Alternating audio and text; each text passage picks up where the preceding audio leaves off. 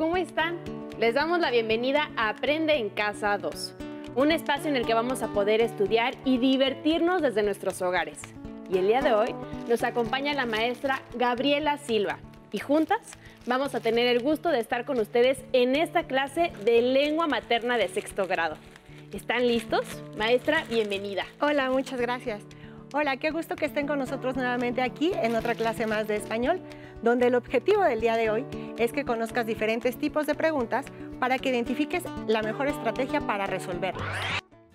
No olvides tus materiales para anotar las preguntas y actividades que se te piden para que cuando acabe el programa puedas responderlas y hacerlas a tu ritmo. Y, maestra Gaby, ¿qué materiales necesitamos el día de hoy? El día de hoy vas a tener que utilizar tu libro de español sexto grado en la página 10. De igual manera, una libreta para anotar y lápiz o pluma para escribir en ella. Perfecto. Ya saben, si no los tienen, corran por ellos, ahora es el momento. Si ya estás listo con todos tus materiales, te invito a que nuevamente te pongas cómodo porque vamos a darle continuidad al libro de las preguntas de Pablo Neruda. Y no solamente en esta sesión, en las próximas sesiones vamos a continuar con esta maravillosa lectura. ¿Están listos? Vamos a empezar ahora con el párrafo 13. Ujú. ¿Hay cocodrilos voluptuosos? ¿Cómo se reparten el sol en el naranjo las naranjas? ¿Venía de una boca amarga la dentadura de la sal? ¿Es verdad que vuela de noche sobre mi patria un cóndor negro? 14. ¿Y qué dijeron los rubíes ante el jugo de las granadas? Pero, ¿por qué no se convence el jueves de ir después del viernes? ¿Quiénes gritaron de alegría cuando nació el color azul? ¿Por qué se entristece la tierra cuando aparecen las violetas? 15. ¿Pero es verdad que se prepara la insurrección de los chalecos? ¿Por qué otra vez la primavera ofrece sus vestidos verdes? ¿Por qué ríe la agricultura del llanto pálido del cielo? ¿Cómo logró su libertad la bicicleta abandonada? 16. ¿Trabajan la sal y el azúcar construyendo una torre blanca? ¿Es verdad que en el hormiguero los sueños son obligatorios? ¿Sabes qué meditaciones rumia la tierra en el otoño? ¿Por qué no dar una medalla a la primera hoja de oro? 19. ¿Han contado el oro que tiene el territorio del maíz? ¿Sabes que es verde la neblina a mediodía en Patagonia? ¿Quién canta en el fondo del agua en la laguna abandonada? ¿De qué ríe la sandía cuando la están asesinando? 20. ¿Es verdad que el ámbar contiene las lágrimas de las sirenas? ¿Cómo se llama una flor que vuela de pájaro en pájaro? ¿No es mejor nunca que tarde?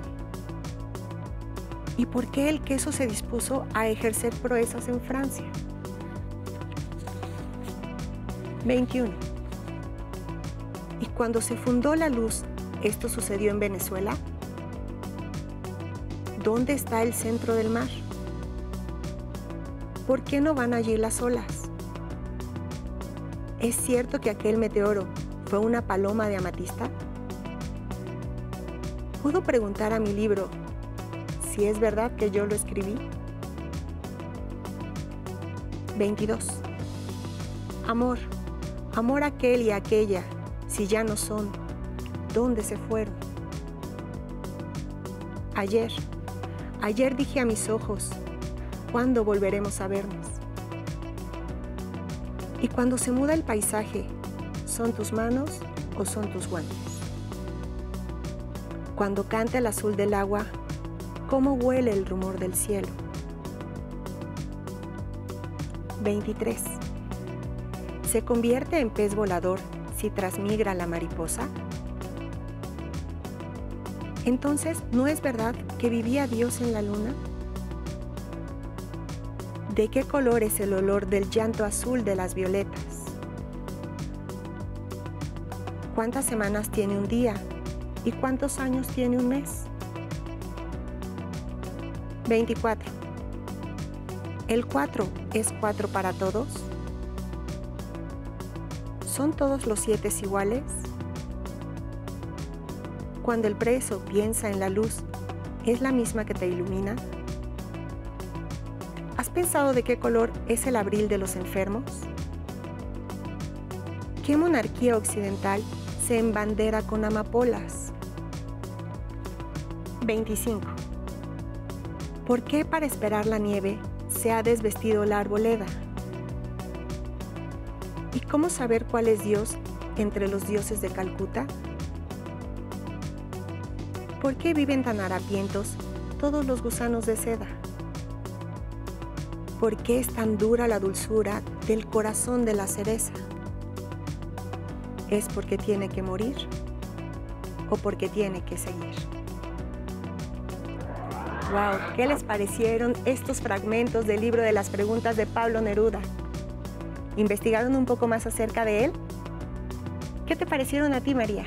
A mí me parecen impresionantes y son grandes ejemplos de todas las preguntas que podemos hacernos a nosotros, que podemos encontrar en cualquier libro de texto. Y yo los invito a que si ustedes no pueden acceder a este libro en este momento o quizá tienen otros libros en casa, ábranlos, léanlos, disfrútenlos y vean qué tipo de preguntas se encuentran en ellos y ya saben que si hay algo que no entienden, no reconocen, como por ejemplo Calcuta, que lo menciona, menciona también a Nixon, investiguen quiénes son o en dónde están para que no se queden con dudas y lo disfruten todavía más.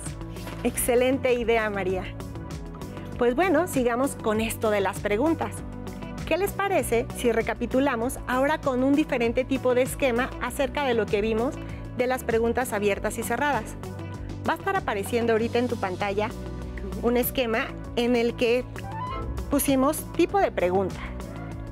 Si se fijan, hay dos flechas, porque tenemos preguntas abiertas y preguntas cerradas.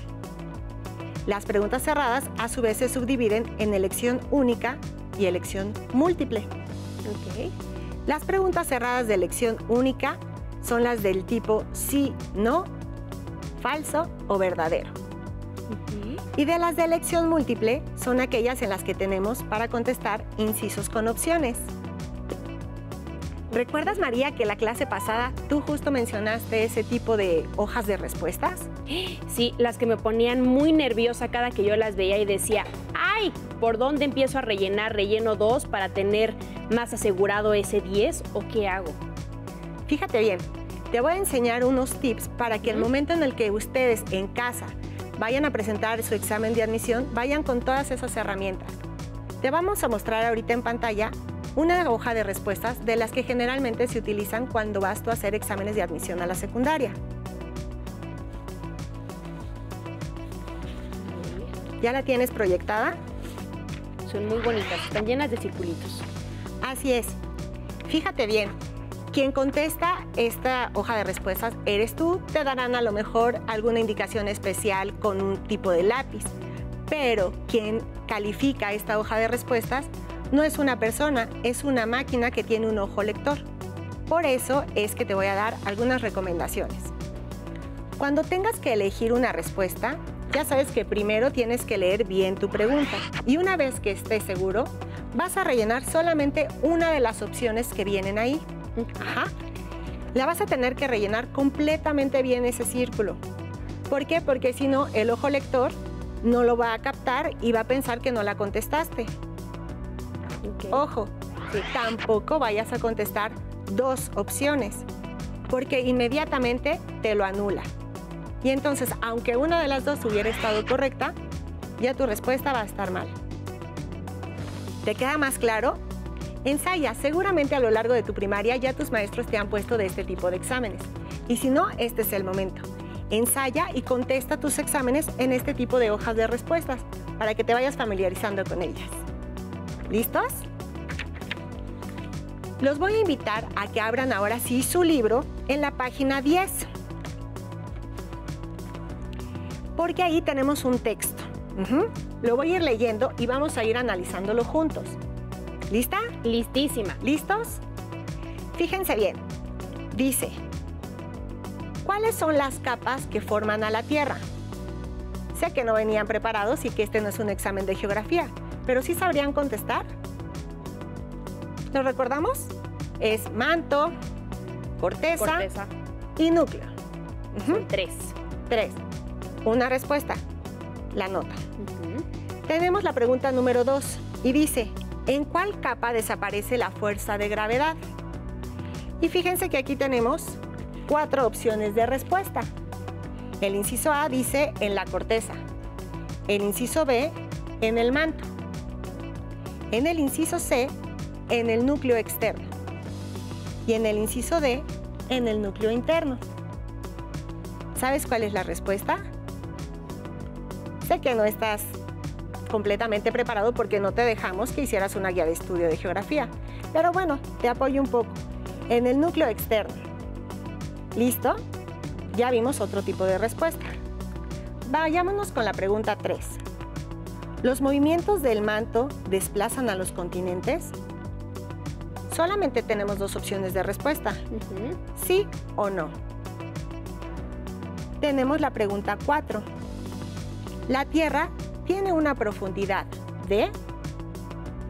Ahí también, y depende del autor, pues podrás tener un aproximado, quizás entre 4.600, un dato más certero, 4.650, pero al fin y al cabo solamente una podrá ser nuestra respuesta, la que se aproxime, y más si escribimos la palabra aproximadamente.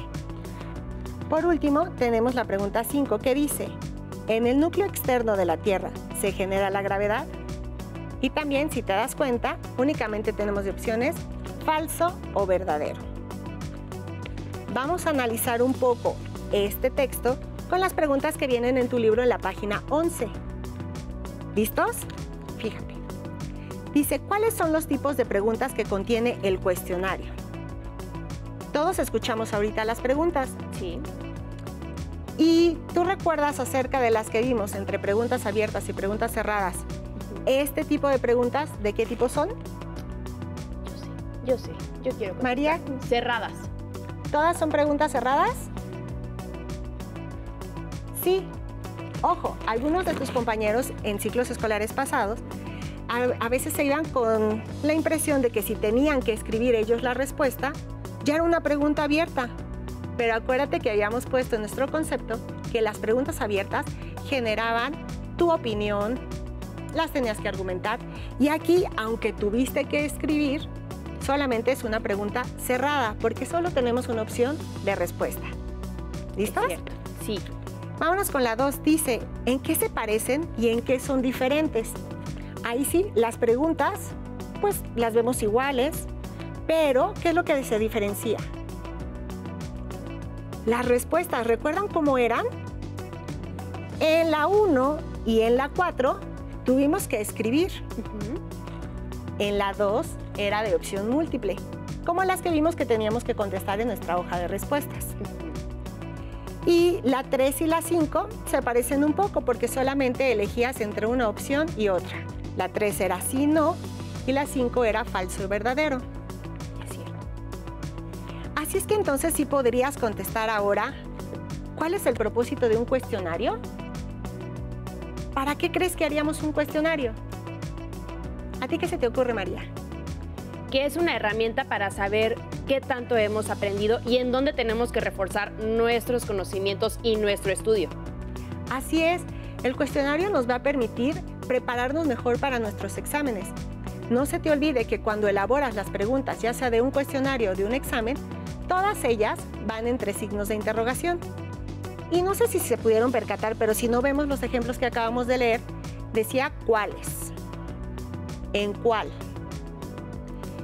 Esas dos palabras, más aparte otras que podemos encontrar como qué, cómo, cuántos, cuántos o dónde, siempre las vamos a acentuar.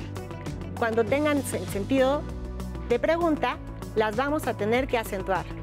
No lo olvides. Perfecto, pues yo creo que ahora sí, ustedes en casa, sin importar qué materia, yo creo que el ejemplo que viene en el libro es muy útil para todos nosotros para darnos a entender que no importa qué materia sea, nosotros podemos elaborar una guía de estudio muy completa con ambos tipos de preguntas, las abiertas y las cerradas, y no solamente eso, prepararnos con varios tipos de, de pruebas y de respuestas para saber qué tanto hemos recordado de nuestro tema. Que ahí les va un reto. ¿Están listos? Ya ahora sí está muy claro, llevamos dos clases viendo cuáles son los tipos de preguntas. Así es que ahora el reto va a consistir en que tú elabores las preguntas. Va a estar apareciendo ahorita en tu pantalla un esquema, podrás apoyarte de él o podrás hacer el tuyo propio. Pero fíjate bien, tenemos tipo de cuestionario, de preguntas abiertas y de preguntas cerradas. Vas a poner diferentes ejemplos de tipos de preguntas abiertas. Y también te invito a que pongas otros ejemplos con tipos de preguntas cerradas. Seguro ya puedes aplicar lo que hemos aprendido en estas dos clases. ¿Cómo sería la mejor forma para nosotros poder elaborar las preguntas abiertas? Primero tendrías que conocer muy bien acerca del tema que lo vas a, a realizar. Ok. Entonces fíjate bien que elijas la asignatura y toda una bibliografía que vaya acorde con ella, ya sea lo que te haya dado tu maestra o libros de texto que te apoyen. Ok. Y para las preguntas cerradas, yo me imagino que funcionará igual, Así con la excepción de que de que aquí recuerda que cuando elabores tu pregunta solo vas a tener una o dos opciones de respuesta, ya sea que las contestes como falso o verdadero, y de la de elección múltiple te va a encantar porque vas a tener que pensar en cuatro opciones, tres que sean distractores y solamente la que va a ser la correcta. Y ahora sí, con todas estas herramientas, ¿qué esperan para ustedes empezar a elaborar sus propias guías de estudio y empezar a practicar de una vez en su casa cómo podría ser su examen de admisión a la secundaria? No olviden empezar a ponerlo en práctica. Hemos terminado con preguntas abiertas y cerradas. Espero lo hayan disfrutado tanto como nosotras. Nos vemos hasta la próxima. Ah, pero antes vamos a movernos un poco. A continuación, historia.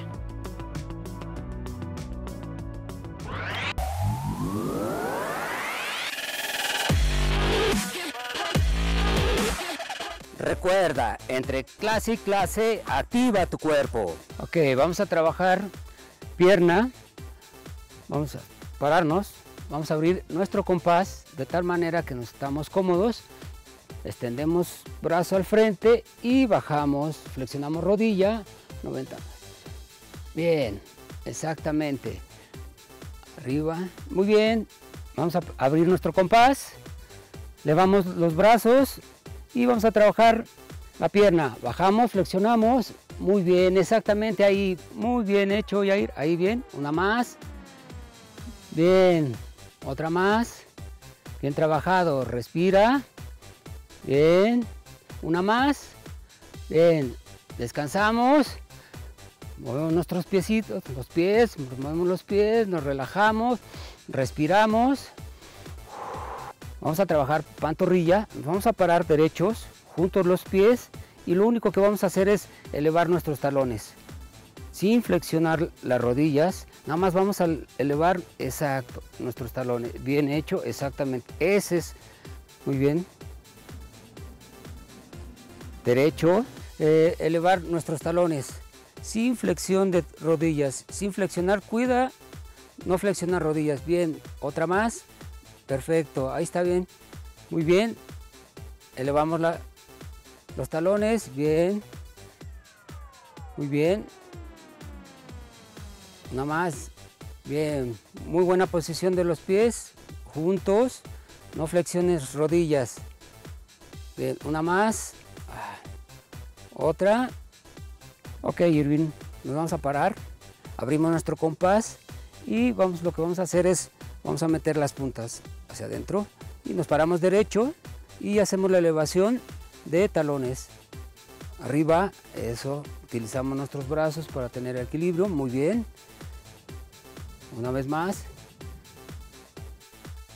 Acuérdate de mantener las puntas hacia adentro, elevación, sin flexionar las rodillas. es importante que no flexiones las rodillas, las puntas hacia adentro, nuevamente las, las ponemos en posición, las puntas hacia adentro de los pies, nuevamente, bien, exacto, paramos, descansamos, respiramos, acuérdense de tener siempre la posición de los pies, de las puntas hacia adentro. Y después de cada pausa, activa tu mente.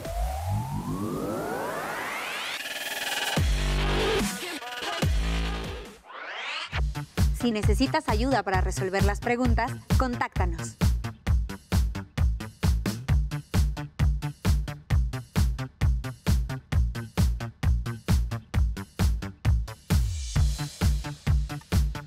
También puedes encontrar los libros de texto en la página conalitech.cep.gov.mx. Si quieres volver a ver los programas de Aprende en Casa, los puedes encontrar en la siguiente liga, aprendeencasa.cep.gov.mx.